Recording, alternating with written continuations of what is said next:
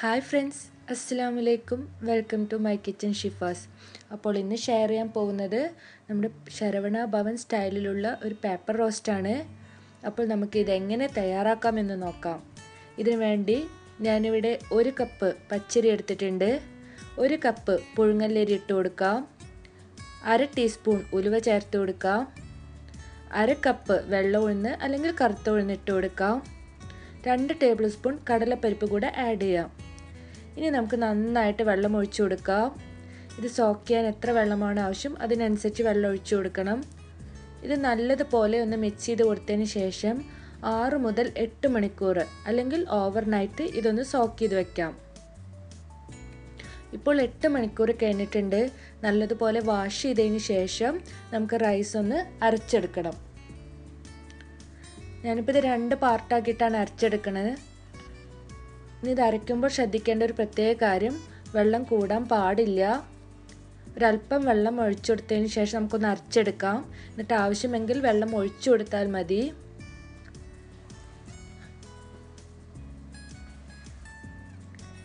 ഇതിനെ നമുക്കൊരു പാത്രത്തിലേക്ക് മാറ്റാം. പിന്നെ തിക്കായിട്ടാണ് ഇവിടെ അരച്ചെടുത്തിട്ടുള്ളത്. ഇനി നമുക്ക് ബാക്കിയുള്ള അരി കൂടി ഇതുപോലെ അരച്ചെടുക്കാം. വെള്ളം നല്ലോണം കൂടരുത്. അതുപോലെ ഇഡ്ഡലിയുടെ അത്ര ടൈറ്റ് ആവശ്യമില്ല. അതിനേക്കാൾ ഒരു അല്പം ലൂസായിട്ടുള്ള ഒരു ബാറ്ററാണ് നമുക്ക് ആവശ്യമായിട്ടുള്ളത്. ഇനി നമുക്കിതൊരു തവി ഉപയോഗിച്ച് നന്നായിട്ടൊന്ന് മിക്സ് ചെയ്ത് കൊടുക്കാം. ഇതിലേക്ക് ഒരു അല്പം വെള്ളം നമുക്ക് ആഡ് ചെയ്യാം. അതായത് മിക്സി ഒന്നും കൂടെ ഒരു അല്പം വെള്ളം ഒഴിച്ചിട്ട് ഞാനിത് അടിച്ചെടുത്തതാണ്. ആ വെള്ളമാണ് ആഡ് ചെയ്തിട്ടുള്ളത്. ഇത് നന്നായിട്ട് മിക്സ് ചെയ്തതിന് ശേഷം ഒന്നില്ലെങ്കിൽ ഓവർ നൈറ്റ് അല്ലാന്നുണ്ടെങ്കിൽ എട്ട് മുതൽ സോറി പത്ത് മുതൽ പന്ത്രണ്ട് മണിക്കൂർ വരെ നമുക്കിത് പൊങ്ങുന്നതിനായിട്ടൊന്ന് മാറ്റി വയ്ക്കാം ഞാനിത് ഓവർനൈറ്റ് സോക്ക് ചെയ്തിട്ട് പിറ്റേ ദിവസമാണ് എടുക്കുന്നത്. മാവ് നല്ലതുപോലെ പൊങ്ങി വന്നിട്ടുണ്ട്. നമുക്കിതിലേക്ക് ആവശ്യമായിട്ടുള്ള ഉപ്പ് ചേർത്ത് കൊടുക്കാം.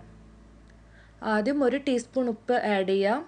എന്നിട്ട് ഇളക്കി യോജിപ്പിച്ചതിന് ശേഷം ആവശ്യമെങ്കിൽ മാത്രം ഉപ്പ് ചേർത്ത് കൊടുത്താൽ മതി. ഇതിലേക്ക് ഒരു അല്പം വെള്ളം കൂടെ.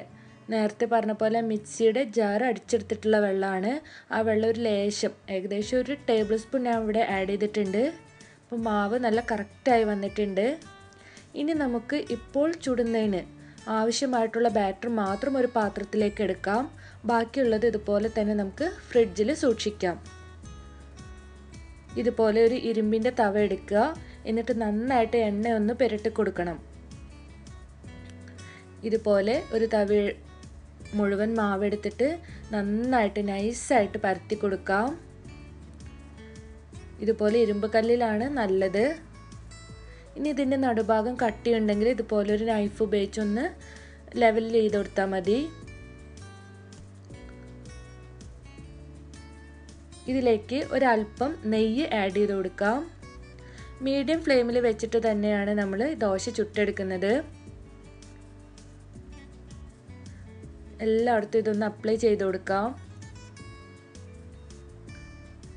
ഹോട്ടലുകളിലൊക്കെ വലിയ തവിയായിരിക്കും.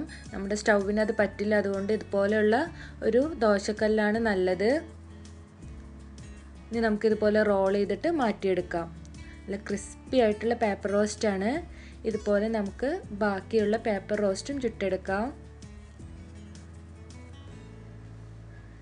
നോൺ സ്റ്റിക്ക് തവിയാണെങ്കിൽ ഇതുപോലെ ഉണ്ട് വരില്ല. നമുക്ക് ഇതുപോലെയുള്ള ദോശക്കല്ല് ഇരുമ്പിന്റെ ദോശക്കല്ലാണ് നന്നായിട്ടുള്ളത്.